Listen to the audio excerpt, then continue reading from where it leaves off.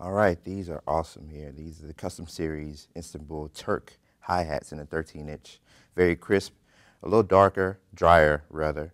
And um, you could get this exact pair of hi-hats only here at myCymbal.com.